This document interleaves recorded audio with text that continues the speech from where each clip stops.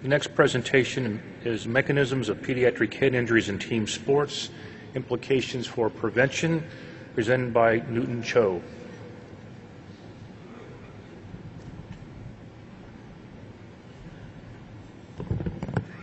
Thank you very much. Uh, before I started, I really wanted to take the time to thank the AANS for giving us, uh, our group, the opportunity to present here today at this venue.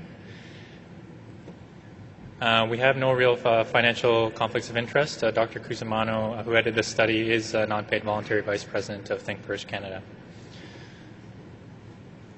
At present time, there's a dire need for injury prevention research in head injuries in team sports in the pediatric population. I say this really for three reasons. First of all, head injuries are very common in sports. More than a million sports related head injuries will occur in our kids this year in the U.S. alone, and up to 21% of all traumatic brain injuries in children and adolescents in the U.S. will be due to sports. Number two, sports related head injuries have very devastating consequences. Case in point, Zach Lystedt, who was a 13 year old up and coming football player who suffered a concussion while playing on the field and was allowed to return back to play prematurely, suffering a second head injury that resulted in him being debilitated for the rest of his life. Not only was his life changed, but the life of his family, his friends, his coaches, his peers, so much so to the point that the Lystedt law was passed in 2009 mandating change to ensure that we prevent head injuries from occurring in team sports in kids. Finally, every time we allow our kids to step onto the court, to step onto the field, to step onto the ice, they're at risk for head injury. There are many advantages associated with sports, including development of team building skills, development of self esteem, and improvement of physical well being, but we need to balance this against the risk of head injury.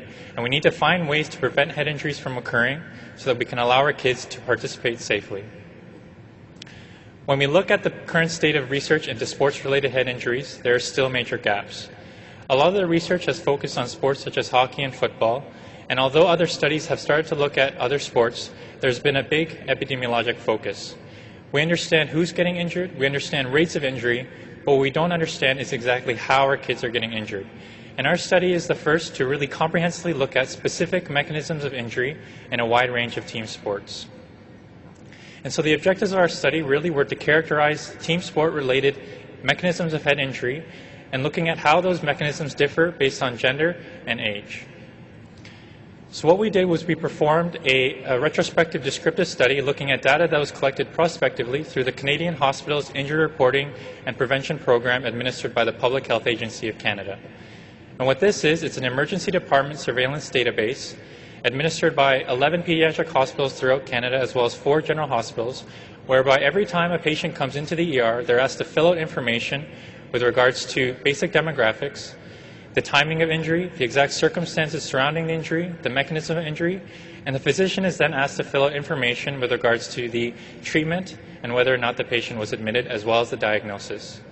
So, what we did was we extracted cases of team sport related brain injuries between the years of 1990 and 2009 for children between 5 to 19 years of age. And we did this for six sports ice hockey, soccer, football, basketball, baseball, and rugby in both organized and informal settings, as well as urban and rural settings. We then proceeded to look at each case and manually coded the specific mechanism of injury associated with each case using a specific list of, mechanisms that we generated for each sport. This list of mechanisms was very specific, including, for example, mechanisms such as check from behind into the boards or hit by a baseball bat. And then we categorized these specific mechanisms into six larger mechanistic categories, which you can see there, including collision or contact with other players, falls, dives, or trips, hit by a ball or puck, hit by a sports implement such as a baseball bat or a stick, contact with an obstacle or, or fixed object in the environment, such as a goalpost or net, and other.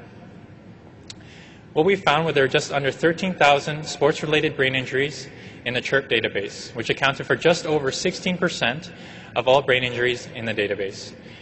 Most of the injuries were males with an average age of 13.5 years, and most of the injuries occurred in urban areas and in organized settings. So, what I'm going to do now is I'm going to present the results specific for each sport, and I'm going to present this when we look at all the injuries that occur in each sport, what proportions of those injuries are due to the different mechanisms that I outlined earlier. Hockey accounted for the largest proportion of injuries in our study, and as expected, in blue, as you can see there, contact with another player was the major mechanism of injury. But when you look more specifically, we actually see that a large proportion of our kids are still getting injured because of checks from behind. In addition, in the red there, you can see that in the 5 to 9 year old group, there's a large proportion of our kids who are simply getting injured because they're falling on the ice. Another point I wanted to uh, uh, read, uh, say to you today is that when you look at males and females and compare the distribution of, the, of injury mechanisms between the two genders, we see that they're very similar. When you look at the blue compared to the blue, the red compared to the red, and so on. In soccer, which accounted for the second highest number of injuries in our study, again, player to player contact accounted for the largest proportion of injuries in soccer. More specifically, in the 10 to 14 year old group, we saw that 20% of injuries were due to head to head collisions, and 30% of injuries in the 15 to 19 year old group were due to head to head collisions. In addition, uh, we see that kicks to the head accounted for a large proportion of injuries, especially in the 15 to 19 year old group. When you look at the younger age group, in the purple, we see that a large proportion of injuries, in this case 12.5%, were actually due to contact with fixed structures in the environment, such as a net or goalpost. Again, when we compare the distribution of injury mechanisms between males and females, we see that they're very similar across ages. Football accounted for the lar- third largest amount of injuries in our study, and as expected, contact with other players accounted for the greatest uh, proportion of injuries, more specifically tackling, which you can see in blue there. Similarly to soccer, we found, especially in the 5 to 9 year old group, that 22% of the injuries were due to contact with fixed structures in the environment. Again, when you compare males and females, we see that the distribution of injury mechanisms are very similar. In basketball, again, player to player contact in the blue there accounted for the largest proportion of injuries. More specifically, we see that a large proportion of injuries are due to elbowing, especially in the 15 to 19 year old group. Again, I want to draw your attention to when we look at males and females and compare the distribution of injury mechanisms, we see that they're very similar. In baseball, the story is completely reversed. It's not player to player contact that's causing most of our injuries, but it's really injury due to the ball, which you can see in blue there, and injury due to the bat, which you can see in purple there. And when we look specifically at injury due to the bat, especially in the 5 to 9 year old group, we see that most of the kids are getting injured simply because they're too close to the batter. Again, when we compare males and females and the distribution of injury mechanisms, we see that they're very similar. Finally, in rugby, we see that the main mechanism of injury, as expected, is contact with other players, namely tackling. And again, when we compare males and females, we see that the distribution of injury mechanisms are very similar. So, what does this all mean, and how do we move forward? Well, our research shows that we really need to implement broad based intervention strategies, and as neurosurgeons, we have a pivotal role to play in this regard.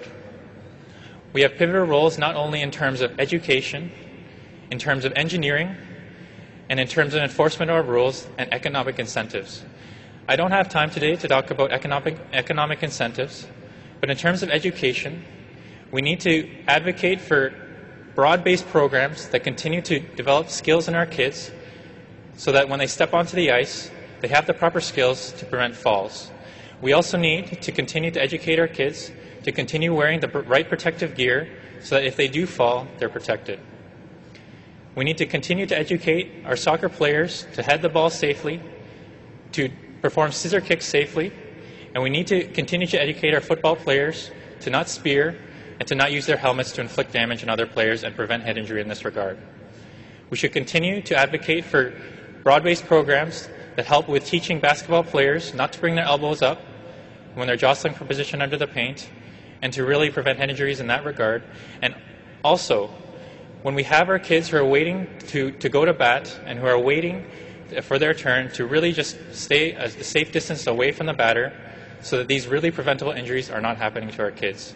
And finally, with rugby, we need to continue to educate our kids to tackle appropriately and safely. In terms of rule enforcement, we really need to crack down on checking from behind in hockey. Checking from behind has been an illegal maneuver for the past 20 years, but our study shows that it's still a significant mechanism of injury. We need to make stricter rules for checking from behind, and we need to enforce those rules appropriately, and we need to advocate for that change as neurosurgeons in the community. We also need to consider soccer in terms of more research surrounding the use of head protectors, given the prevalence of head to head contact and kicks to the head, and the possible use of penalties for high kicks that are causing injury to our kids. In terms of engineering, every, every field or pitch in our nation, as well as around the world that have the capabilities, should have, have padding on all the goalposts and nets. The fact that our kids are suffering injuries simply because they're running into goalposts or nets suggests that we really need to find ways to prevent these injuries from occurring. And really, by adding, goal, adding padding to these goalposts or nets, we believe that that will help in a long way. In addition, the fact that a lot of our kids are getting injured simply because they're being hit by the baseball suggests that we need to ensure and advocate that all our baseball players are wearing helmets at all times to ensure that they're protected. And finally, our study shows that the mechanisms of injury are very similar between females and males. Both females and males should be targeted equally. They should be included in all injury prevention efforts that we advocate for, and they should be, females should be equally addressed in the same way that we're addressing male injuries, and hopefully preventing injuries to our kids as we move forward into the future.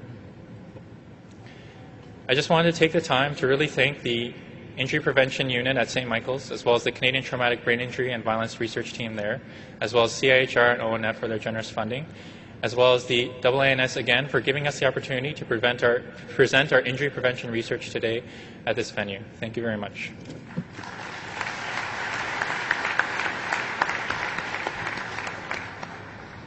Thank you. Our discussion will be Dr. Richard Ellenbogen.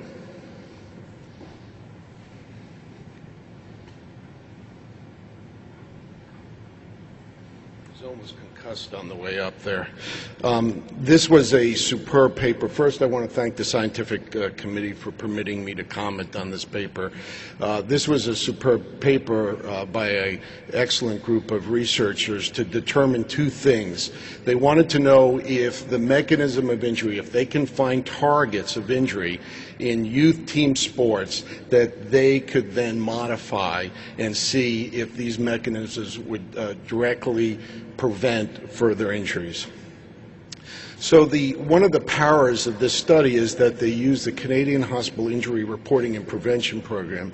Although we have the CDC, we don't have an equivalent system in the United States, and I'm hoping that um, by presenting this data, there'll be more data out of this particular database, which is an ER surveillance database of 11 pediatric and four general hospitals. That re it's really uh, specific to Canada, and, uh, and it shows you the power of being able to have that centralized system analyze data. Um, the results were stratified by sport, gender, and age. Huge number of injuries. The interesting thing is when we looked at the particular sports in Canada, 44% were hockey. Um, and if you look at the injuries, the targets, in 5 to 9 year old kids, it's falls. In 10 to 14 year old, it's collisions and in 15 to 19 year old, it's checking from behind. So the conclusions were that sports related uh, TBIs are preventable, body checking a leading risk in ice hockey, and that despite the rules, the enforcement of the rules is what's lacking to prevent that culture change. And, um, and in, in what they're advocating for is stronger rules, educations for proper techniques, enforcement, and culture change. Now let's look at the hockey. Clearly seeing hockey being checking from behind. And soccer, what was interesting about soccer is it's not heading the ball because the ball deforms. It's head-to-head -head collisions or collisions from uh, head to feet. If you look at the CDC data from the United States, the um, injuries are a little different. Um, you could eliminate football, soccer, hockey, and you'd still have an enormous number of traumatic brain injuries because bicycling and the playground uh, provides us with a great number of TBIs. So eliminating uh, falls as one of your targets is going to be very difficult. Now, interestingly, in our country, because of Title IX, uh, we are injuring women as, men, as much as we're injuring men. And um, in youth sports, you can see if you take the same sports and compare girls to boys, Girls have a higher increased incidence of concussion versus boys in the same sports. Maybe it's reporting uh, bias. Girls might be more honest, head size, neck size, hormonal influences. So, what makes a difference when tested systematically? Well, what are we going to do if you make rule changes? Does it work? We looked at that at the NFL. As you know, this year changed kickoff rules, and guess what? When you kick off from the 35 yard line, you cut the concussions in half. That's the good news. And you can see the reason you cut the concussions in half by changing rules and laws is that um, you have less returns, so you have more touchbacks. The bad news, the downside of changing the rules is the incidence the incidence per concussion per event is just as high. So although we've cut the concussions in half, if the ball is returned, the incidence of concussions is just as high. The Zach Lystedt rule um, law, which has now been passed in 34 states, protects youth athletes, and we are studying the effect of this in the United States to see if it's cut down both catastrophic and concussion. And with 34 states now passing the rule, kids are not re- being returned during any particular practice. If a kid is concussed in a practice, he does not return, and he cannot return to he or she cannot return to play unless they um, unless they're cleared by a healthcare professional. The end of the deal. Um, as this paper so um, nicely showed, what works to decrease traumatic brain injury in youth sports? It's probably all of the above. Rules changes, culture change, enforcement, education. Thank you very much.